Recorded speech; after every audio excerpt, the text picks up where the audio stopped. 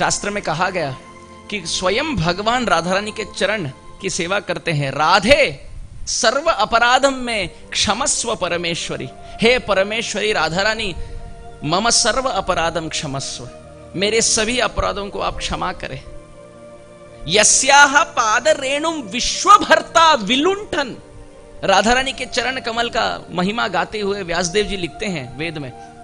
यस्याह पाद रेणुम श्रीमती राधा रानी के चरण रज को पाने के लिए विश्वभरता कृष्ण विलुंटन लोटपोटते हैं, लोटते हैं, घिरते हैं, रेंगते हैं। भगवान कृष्ण विश्वभरता होकर लौटते हैं ताकि श्रीमती राधा रानी के चरण रज से स्पर्शित हो जाए उनका जीवन। हर आचार्य यही कहते हैं, व्यासदेव जी तो वेदों में, पुराणों में अनंत प्रमाण दिए हैं।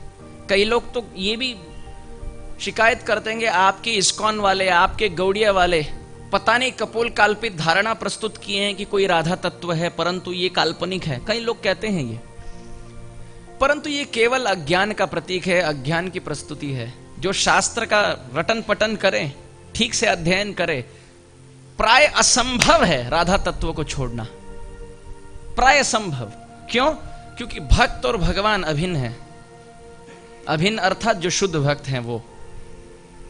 इस जगत में भी देखा गया। माता पिता तो जगत जननी। माता पिता हो तो पुत्र पौत्र होते हैं। ये पूरा जगत सभी अनंत जीव भगवान के अंश हैं पुत्र हैं। और माता रूपी राधा रानी और पिता रूपी पिता अहम अस्य जगतो माता भ्राता पितामह। हम्म, गीता।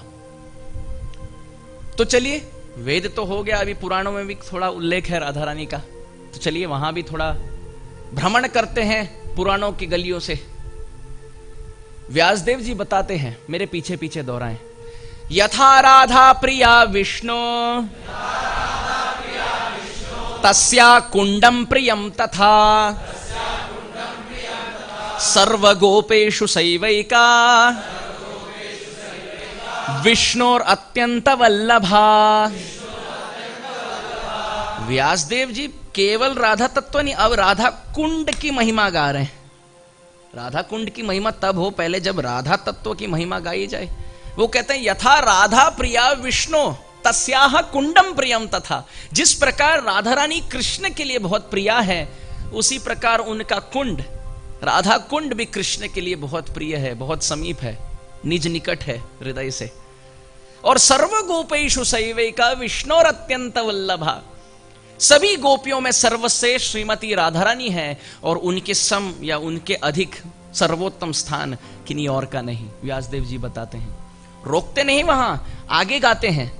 राधा शब्द का परिभाषा, अर्थ, भावार्थ और शब्दार्थ प्रस्तुत करते हैं। कृपया दोहराएँ। रा रा शब्दोच्चारण मात्रेण। यामी श्रवण लोभतः। दाशब्दोच्चारण पश्चात ददामी भक्ति उत्तमाम अभी भगवान की वाणी। भगवान श्री कृष्ण कह रहे हैं, रा, उच्चारण मात्र न। सब कहे, रा, ज़ोर से? ज़ोर से? हाँ। शास्त्र, नहीं, वो तो बस हाँ नहीं था। जब आप रा कहे, मैं बोला हाँ।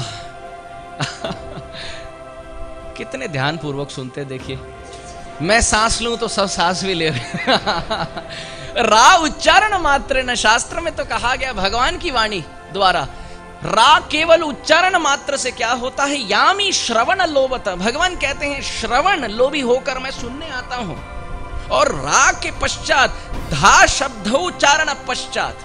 रा के बाद यदि कोई धा भी बोल दे ददामी भक्तिम उत्तमाम। मैं केवल सुनता नहीं, ऐसे साधक को मैं भक्ति प्रदान करता हूँ। केवल भक्ति नहीं, भक्तिम उत्तमाम ब्रज भक्ति माधुर्य भक्ति प्रदान करता हूँ